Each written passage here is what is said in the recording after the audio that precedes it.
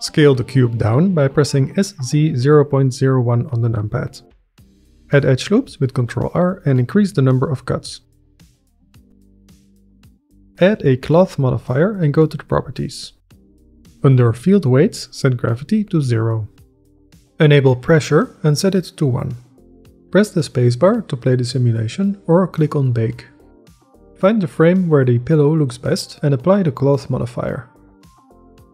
Hold Alt and click on a face in the middle to select the row of faces. Press Alt E and choose Extrude along normals, then press 0.02 on the numpad. Add a subdiv modifier. Right click and choose Shade Smooth. Using the cloth brush in sculpt mode, you can add some more wrinkles and variation.